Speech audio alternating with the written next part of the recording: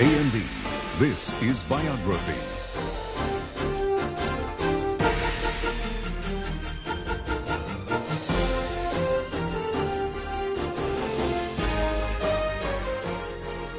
From A&E Studios in New York with Peter Graves.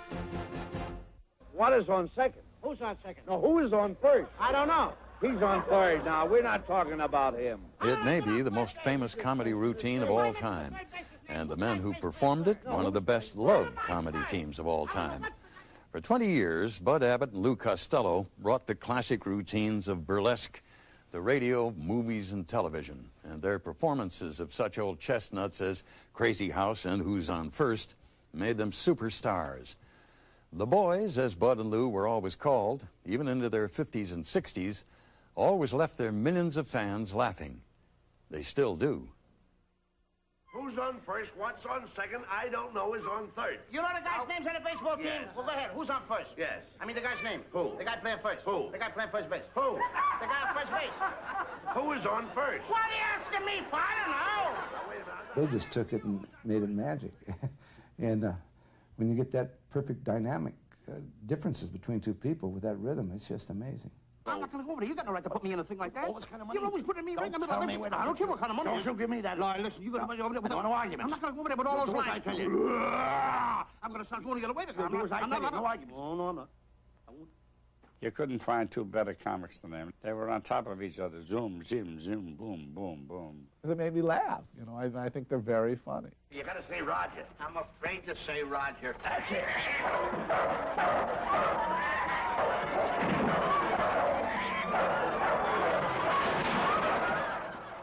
Falling down makes people laugh. Being frightened makes people laugh. Tremendous physical damage makes people laugh. Well, That dog ain't no dentist. Abbott Costello are classic clowns.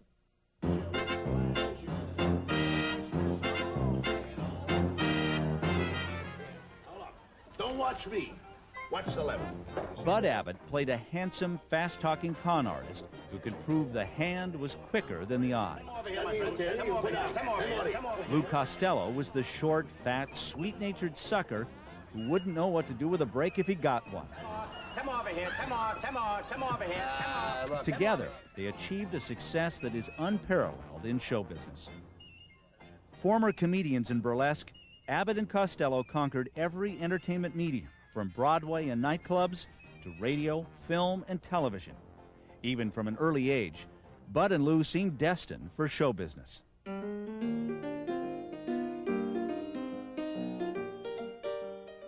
William Bud Abbott was born October 2, 1895, in Asbury Park, New Jersey. Bud's mother, Rae, was a bareback rider with the Barnum and Bailey Circus. Harry, Bud's father, worked for the circus troupe as an advance man. Soon, the Abbotts moved to Coney Island, where Harry Abbott helped organize the first burlesque circuit. Bud would skip school to hang out around the Coney Island Carnival. My father didn't like school too much from what he told me. And he'd say to my dad, my grandfather, Dad, I just I just don't like school. School isn't just for me. I love that life, that carnival life. Bud Abbott dropped out of school at the age of 10 and was soon working as a shill for concessions at Coney Island. One job was to lure customers into the House of Mirrors where they'd usually get lost. Well, my dad knew how to go in and out of the mirrors and how to get out. So he used to take the people who would get lost and show them through the maze and help them to get out. For this service, he charged 10 cents. Already, Bud Abbott was establishing what would become his stage and screen character, the smooth talking con man.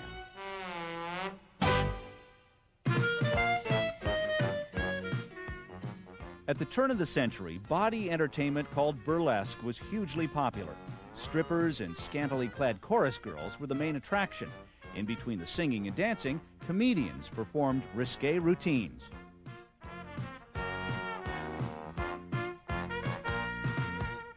At age 16, Bud Abbott got his first job in burlesque as assistant treasurer for a New York burlesque theater. Young Bud was paymaster to such stars as Fanny Brice and W.C. Fields. My father used to tell me that he used to love to watch the different comics, and he'd go backstage and he'd watch the shows and he'd watch how the comics worked and how the straight men worked, and he was just, I guess he, he loved that. At the National Theater in Detroit, Bud Abbott graduated to producer, putting together one new show every week of gals and gags. Bud got to know all the classic burlesque routines with names like Crazy House, Floogle Street, and Lemon Table. Then, after three years, Bud Abbott himself stepped on stage for the first time. He was a very strong, straight man. He treated his partners usually in a very rough and tumble manner on stage, hitting them and slapping them. And that would focus all of the audience's attention on the comedian, all their sympathy, and all the laughs would go to the comic instead of Bud. And that's what was great about Bud. He had this great generosity to give all of the laughs to the comedian. In 1918, Bud married a 17 year old burlesque ingenue. Her stage name was Betty Smith. Bud teamed with Betty and then with several different comics as he traveled the burlesque circuit in the 1920s and 30s. His reputation grew, but real success eluded Bud Abbott. He just never seemed to find the ideal partner. Where did you come from? Paterson, New Jersey.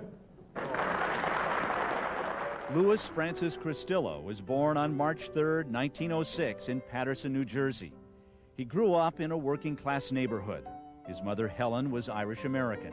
His father, Sebastian, was an Italian immigrant who worked as an insurance salesman.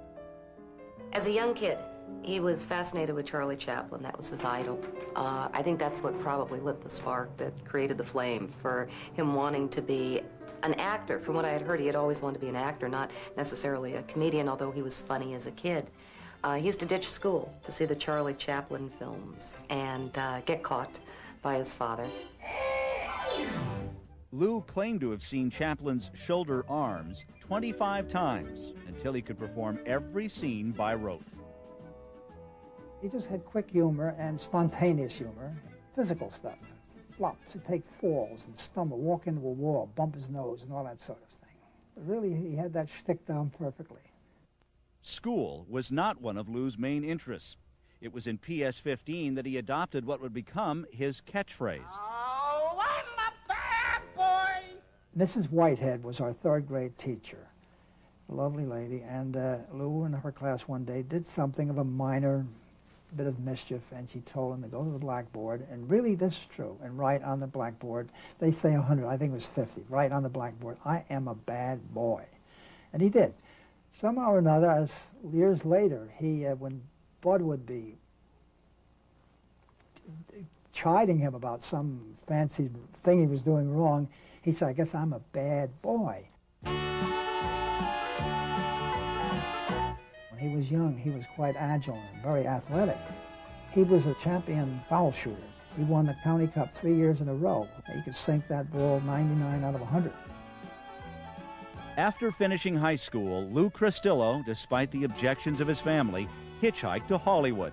His burning ambition was to be a movie star, like his hero, Charlie Chaplin. I don't think he had a moment of doubt in his whole career where he was going and what he wanted to do. He was very focused from the very beginning. It was hard for him in Hollywood. Uh, it's tough. Uh, he slept in a lot of parked cars. Um, I guess he wasn't eating three square meals a day, and he really wasn't making it in Hollywood. Lou's athletic abilities finally landed him some stunt work at the MGM studios. He doubled for actress Dolores Del Rio in the 1928 film The Trail of 98. But soon after, broke and discouraged, Lou headed for home. He got as far as St. Joseph, Missouri, where he landed a job as a Dutch comic. In those politically incorrect days, the Dutch immigrants were the butt of a lot of jokes because they didn't understand the language and the double meanings of some words and had to everything had to be explained to them. And that is the essence of Lou Costello. He's like an immigrant who's confused by language and words and directions and so that was where he developed his persona. With this job, Lou Cristillo changed his name and became Lou Costello. He had a lot of respect for the actress Dolores Costello, and I think that there was name recognition there too. And also, um, if he failed, he didn't want to uh, go down as Cristillo. Lou Costello had never been on a stage before, but his natural ability to be funny earned him big laughs. He stayed at the theater for a year and then moved on to New York. In 1934, he met and married a 22 year old chorus girl, Ann Battler. Then, during the next few years, Lou Costello built his reputation until he was a top banana, a leading comic working with a straight man. On the burlesque circuit of the early 1930s, Bud and Lou's paths crossed many times. Both landed in New York's Eltinge Theater on 42nd Street in 1935. Here, the two men really got to know each other. Bud was watching him and realizing this guy is really talented, but nobody knows it because the straight man doesn't know how to handle him. He doesn't know how to pull him in and control him because Lou could go way out and come up with all sorts of wild improvisations, which were funny but took him out of the scene. And Bud was saying to himself, if this guy just had the, the right straight man, he would be a sensation. And then he realized, I'm the right straight man. Even though they had other partners, Bud and Lou sometimes performed together. They were so good, many people, including Betty Abbott, started to say, why don't you team up? My mother had seen Lou work, and she really liked him. She knew he was a funny little man. And uh, she said, Bud, she said, I think if you and Lou go together as partners, I, I can see that one day your names are going to be up on lights. In 1936, Bud Abbott and Lou Costello became partners one night over dinner with their wives. Betty Abbott's vision of fame for Abbott and Costello was about to become a reality in ways far beyond what she or they could ever imagine.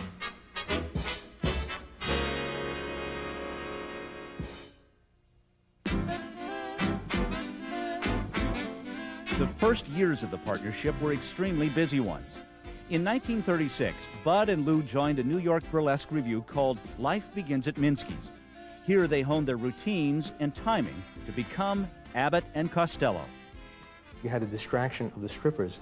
You had to be funny right off the bat, or the audience was going to boo you off. So it was a great training ground for Abbott and Costello. I think the weekly salary was $70 a week, $60, $70 a week, which wasn't bad compared with other people in the working stiffs, as we call them.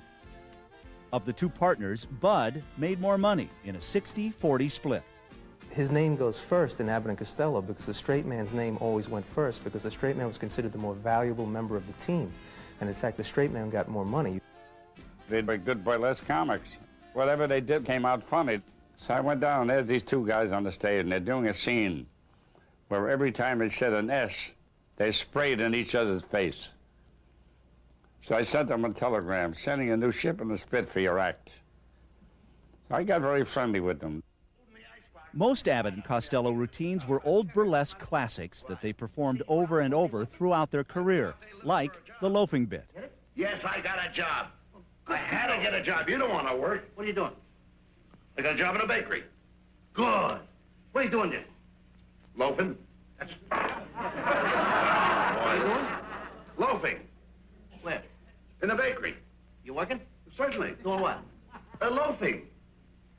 Well, that's what I was doing here. I was just taking it easy. I was loafing. No, no, no, no, no, not kind of loafing. You're just a lazy idiot. Not this here kind here. I was taking it easy, same as you. I work when I loaf. Abbott and Costello did make one very important alteration to these old burlesque bits. They always kept their act clean. Their routines never contained any dirty language, commonly used by the other burlesque acts. They were smart enough to realize that they didn't need you know, blue language in the routines to make them funny.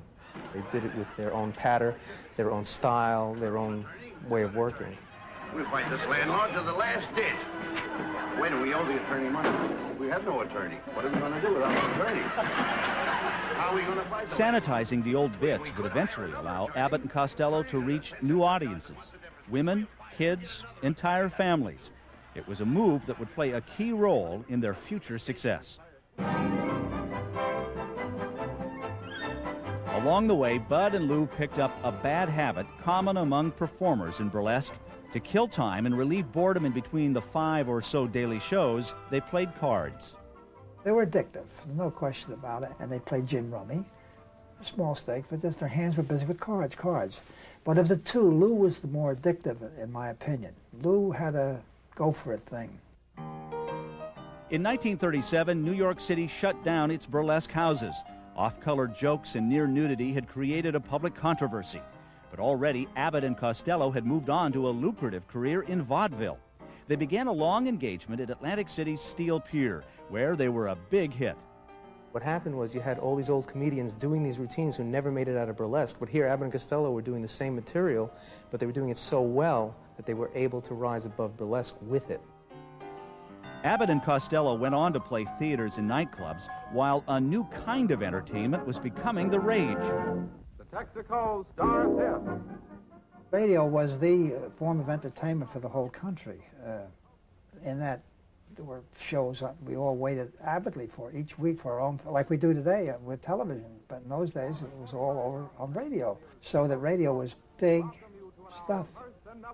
One of the most popular radio programs was Kate Smith's show on Thursday nights. Her manager, Ted Collins, had hired a young comedian who turned out to be a hit. Columbia Pictures wanted to do a test on me, but Ted Collins and Kate Smith wouldn't let me go unless I got a replacement. I go to Loew's State Theater. There's Abbott and Costello. Years later. And they were doing Who's on First. All I'm trying to find out is what's the guy's left name in left field. Now, what is on second? I'm not asking you who's on second. Who's on first? I don't know. Third base. I closed my eyes. I said, geez, you can do this on radio. So Kate Smith and Ted Collins went down and bought them. That was the beginning of their big career. Millions of people had radios. And if you were a big hit, that was it. You hit the whole nation. Here they are, Bud Abbott and Lou Costello. After their first radio performance in February 1938, listeners complained that their voices sounded alike over the air. So Lou adopted a childlike falsetto that would become his trademark.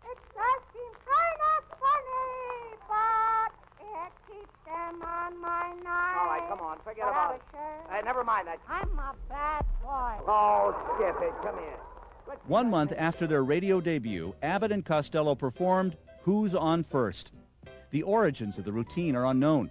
Just seems to be one of those ancient sketches common in the world of burlesque.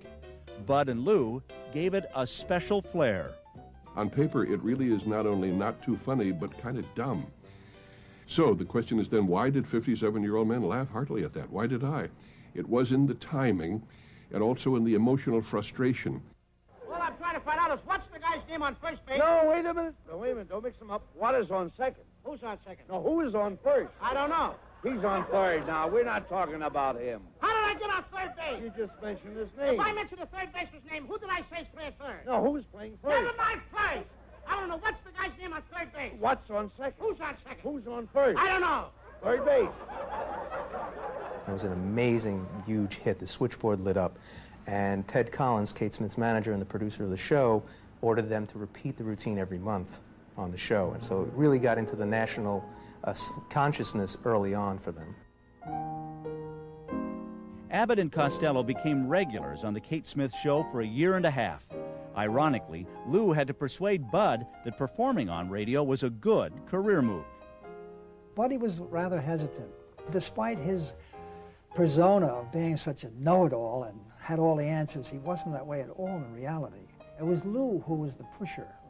Lou had the, the ego, the, the, the belief in himself, strong. He had a strong sense of where he's going and what he wanted. Dad was a very patient man, very, very patient. And uh, I think maybe things might have started to move a little fast. He had worked his way up over those years to, to be secure in burlesque. And now with Lou, Lou wanted to take another step. A large part of Bud's lifelong reserve may be explained by an illness he developed in his late 20s epilepsy.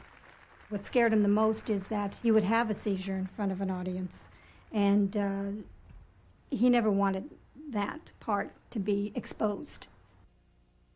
Bud Abbott put aside whatever insecurities he may have had to appear with Lou in The Streets of Paris. This 1939 musical comedy revue was the team's Broadway debut. According to critics, they stole the show. It wasn't long before Hollywood discovered Abbott and Costello. Lavishly produced, One Night in the Tropics brings you sparkling entertainment by radio's prize nitwits, Bud Abbott and Lou Costello. I'm a bad boy. In 1940, Abbott and Costello signed a contract with Universal Studios. In One Night in the Tropics, their first movie, they served as comic relief. Five minutes of four. Where is that guy? Maybe he's over my hotel suit. Not your suit, your suite. You're cute too, Abbott. I like you. It was a box office flop, but Abbott and Costello were so good in it that Universal consented to put them in a second film, one that would soon make them superstars.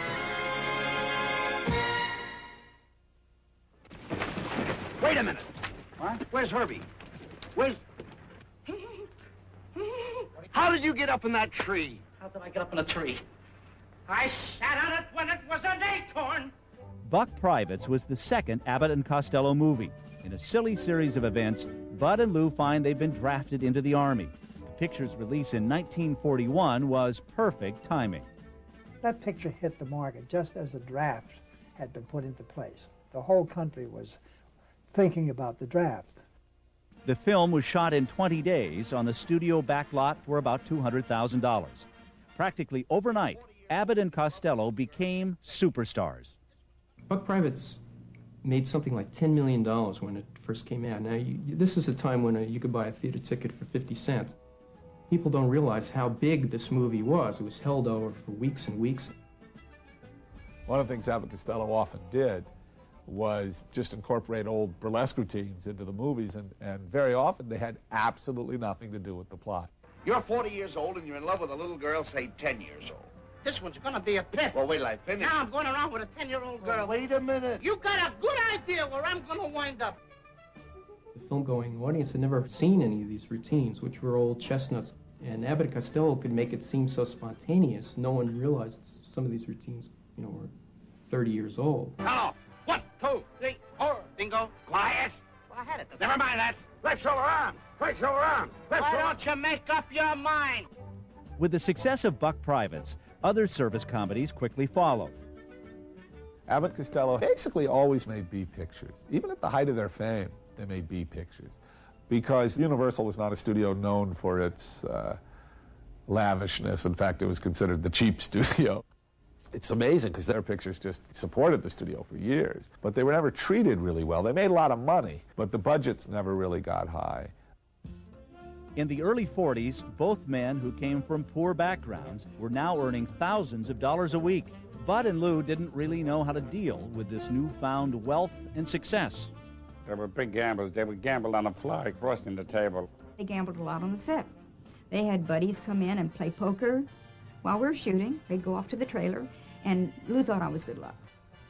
I saw $10,000 in the middle of the table. And Lou would sit there, he'd have a towel around him, he'd be sweating so much. And there was a little Greek guy that played him and made a living off of him. They were not the greatest gamblers in the world.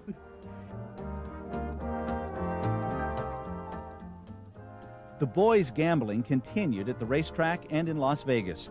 What had begun as innocent games of gin rummy back in burlesque became an addiction. By some estimates, Bud and Lou lost millions over the years, losses that someday would come back to haunt them. But now, the future looked very bright. 1942, they were number one at the box office, and in the following years, their salaries became uh, so astronomical that they were the highest paid stars in the world. It was typical. There were a couple of kids that were in the candy store. That's what it was actually about. New rich, the newly rich. They both bought lovely homes within a mile of each other, but they were competitive about their cars, their houses, their wives' coats and diamonds and all that. One trying to outdo the other. Once or twice a year, they'd have a big party, a humongous party. And I can remember my dad, he'd be walking out, you know, passing out $100 bills to people. I think basically the guy just wanted to help people. He, he felt he was fortunate enough to have made a lot, and if you needed it, he'd give it to you. I couldn't have had a better father. Um, I think he related very well to kids. Shoot, Daddy. Bing! Hold it right. He was a little boy, you know, in, in a, in a grown-up body. It was a Camelot life. It was a fairy tale life, really, when I think about it.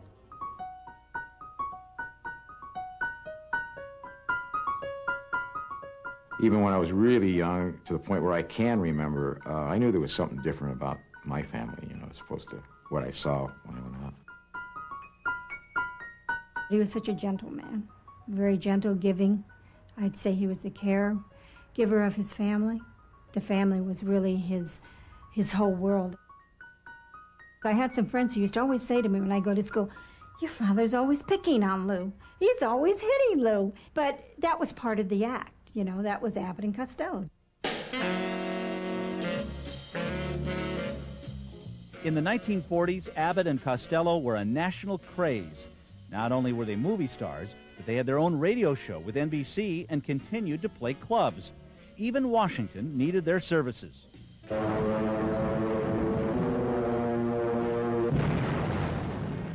When World War II broke out, Hollywood, including Abbott and Costello, pitched in to raise money. During that summer of 42, they visited like 80 cities in a month and raised $85 million in, for the government in war bonds. They attracted huge crowds who came out to see them because they were so immensely popular. All the exhausting travel took a toll on Lou. At age 37, he became seriously ill with rheumatic heart disease, and it looked as though the partnership might come to an untimely end. For nine months, he languished in, in bed, and it was a terrible thing. It was right at the height of their career. Things were to have been done, and it was all put on hold. My father wouldn't continue because he said, if Lou's not here, I'm not going to be here. And uh, that's just how he felt. They were a partnership, and that's how it was going to be. Lou would be plagued with bouts of rheumatic fever for the rest of his life. But now his health was improving. A steady stream of stars, including Lou's hero Charlie Chaplin, wished him well during his convalescence, and he loved playing with his young son Lou Jr., nicknamed Butch.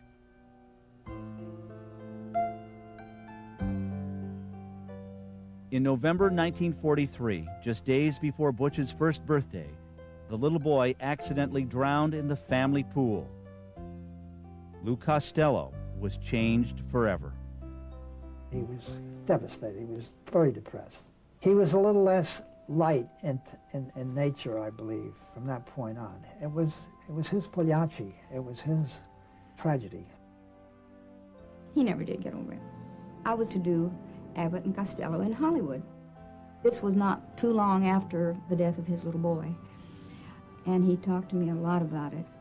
And I could see the, the hurt. And um, he had never known such desperation that it was hard for him to pour his heart out and then go on and be funny. And he didn't stop working, you know. Lou Costello's character was a little boy, essentially. And I think a lot of the little boy in Lou went out of his character after his son drowned. And I don't think he was ever really the same comedian.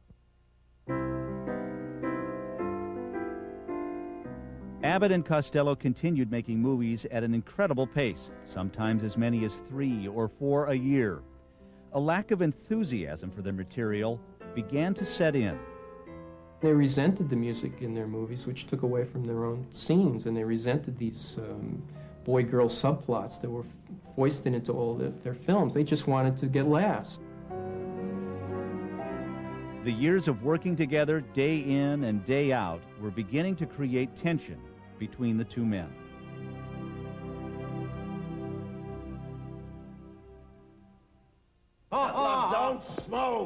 Smoking? You are. What makes you think I'm smoking? Got a cigar in your mouth. Got my shoes on, but I ain't walking. Don't give me that. Will you stop that now?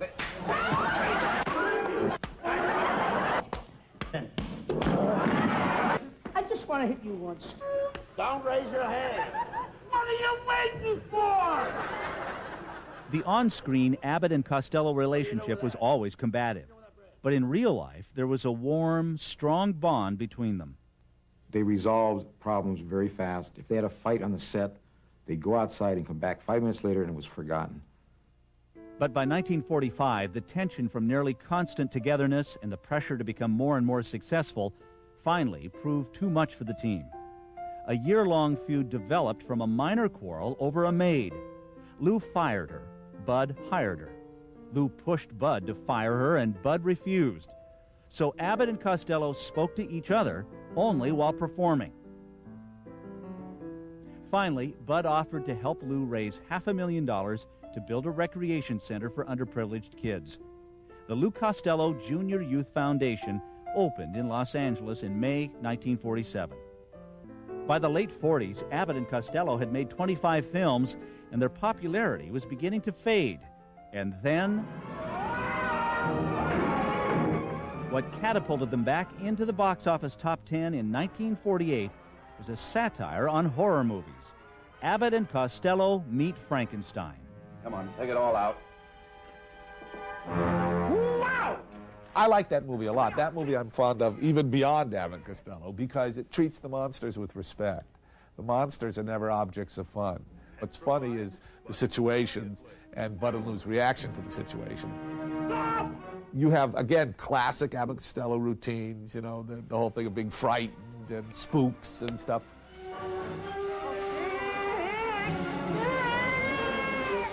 With the smash success of this film, Universal put into production more Abbott and Costello horror movies.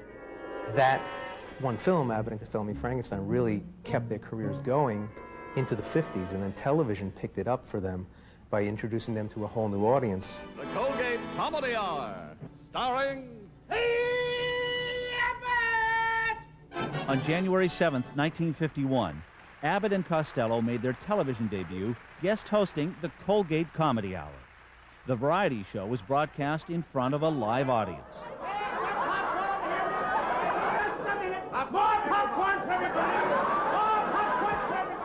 They were excited to do a live show again, where you get trapped, you make mistakes, you work your way out, you have a good time.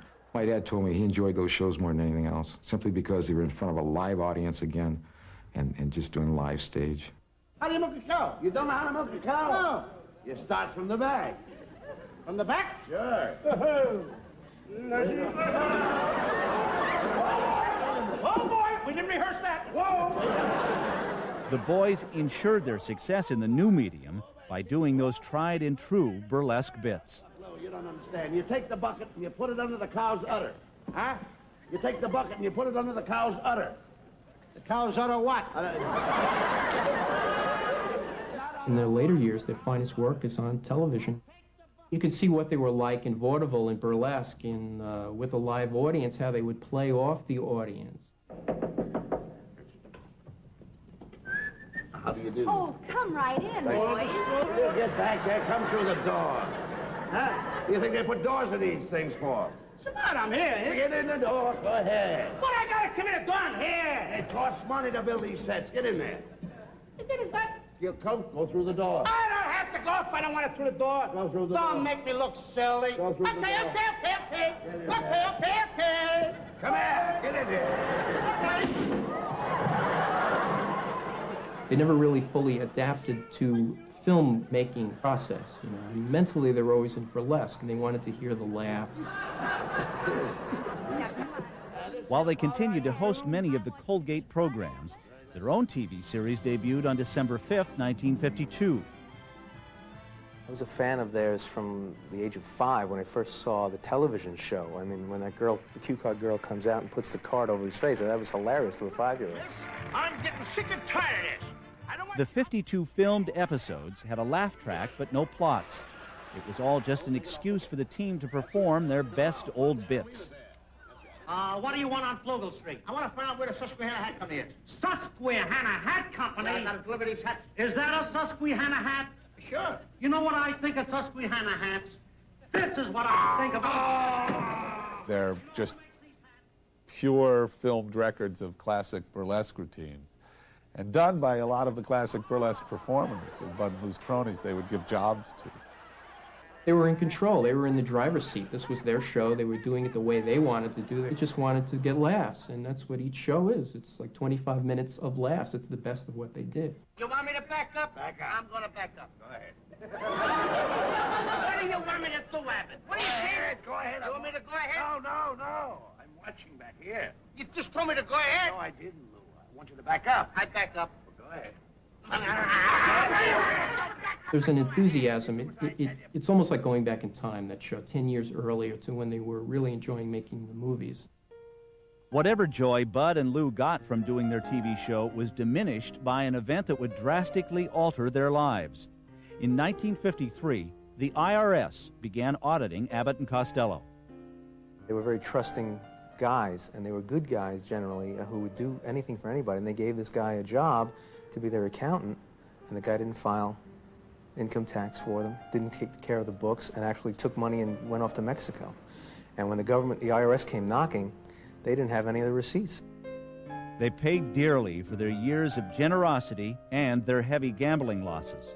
My father lost everything, almost everything that took him 20 something years that, of his success to earn. He lost uh, our big home, his ranch, uh, everything that uh, they had. Lou, the same thing. I saw a change in my dad, and that was, uh, he never recovered from that. Simply because of all they did for the United States government during World War II. And then have the IRS come back and use them as an example. It was like my dad sort of felt he was stabbed in the back. For Abbott and Costello, this was the beginning of the end.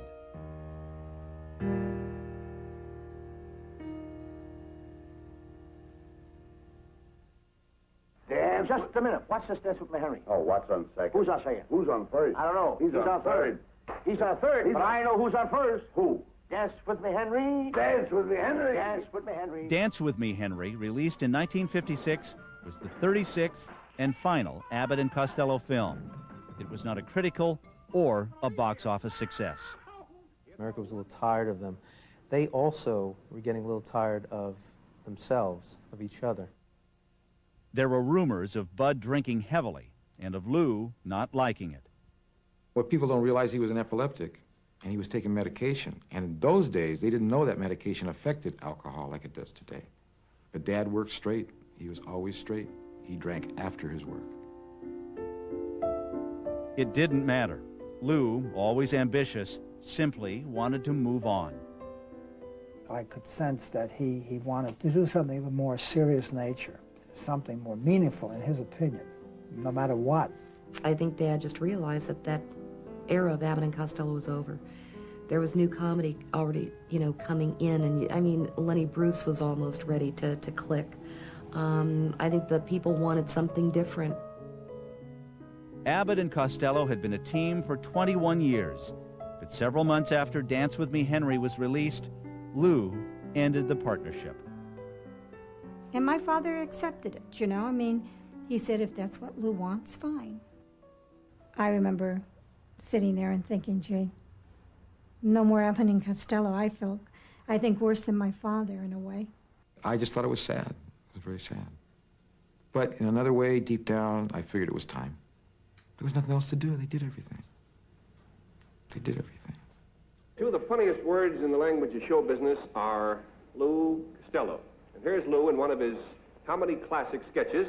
In 1957, Lou began making a series of solo appearances on The Steve Allen Show. We would build him into a big sketch. We surrounded him with the cream of the crop players, and we knew that if we put him into any funny situation, he would deliver the goods, and he always did. All right, here we go. Come on, let's try it, huh? All right, kid, hut, three set. Oh, hey, hey, he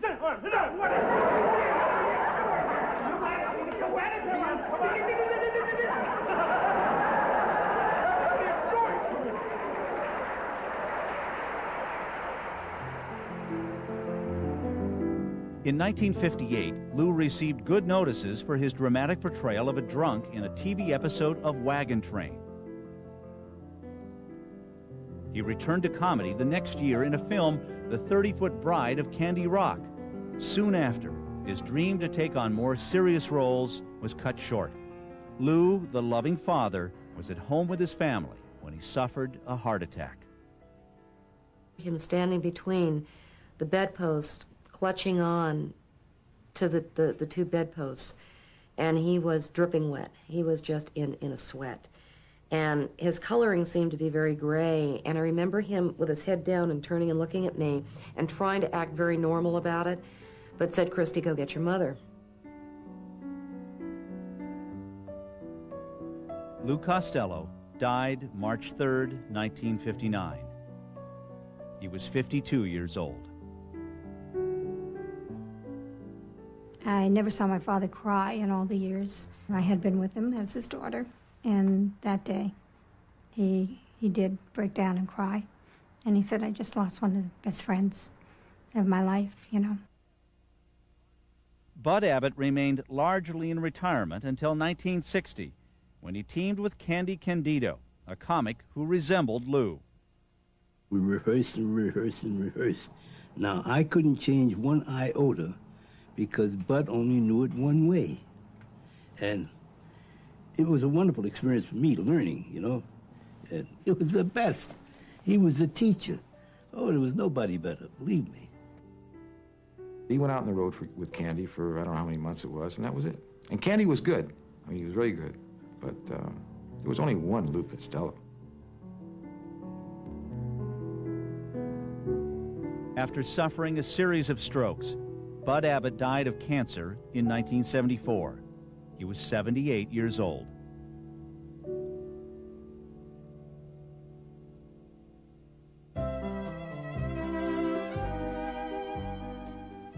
Had it not been for Abbott and Costello, most of the old burlesque routines would be lost forever.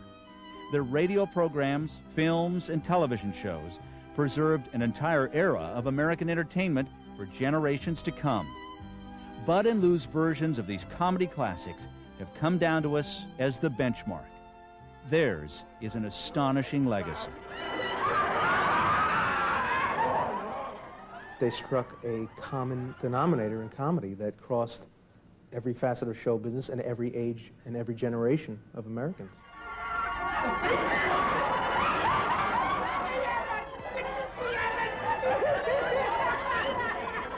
It's clean comedy and it's simple comedy. Everybody can understand it and appreciate it.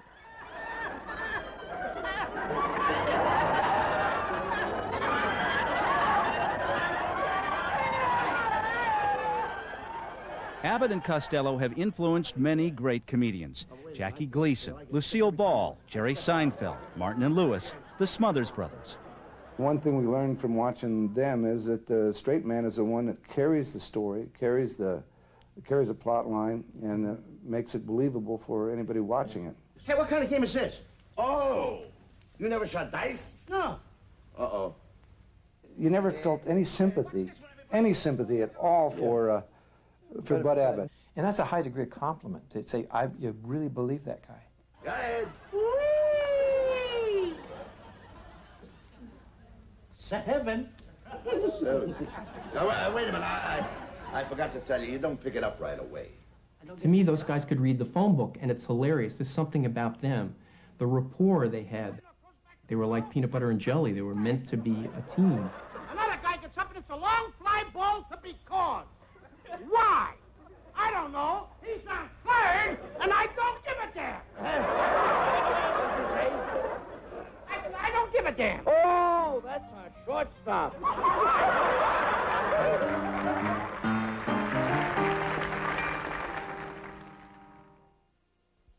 Although Bud and Lou never won an Oscar or an Emmy for their work, they have been rewarded with a rare honor. Their performance of the classic Who's on First routine is a permanent fixture at the Baseball Hall of Fame in Cooperstown. You're right. Just a little. You're right a little. You're right a little. Hold it, hold it. Ooh, wait a minute. I love Jeannie with a uh, light crown. Joe, you've got that chord. You've got it all. It's all twisted. Oh, Turn around. Turn around to your right. Around to your right. Around to your right. I love Jeannie. It's all twisted in the rack. Around. Will you get out of my way? Hey, you're coming to Come on. Wait, that's too far. Turn to your left. Turn to your left. That's the way. Got it. Go back. Go back. Go around this way. Go around that way. I'm getting Jeannie dizzy. All right, forward. Forward a little more. I love Jeannie Bring it all the way. Bring it all the way forward. I love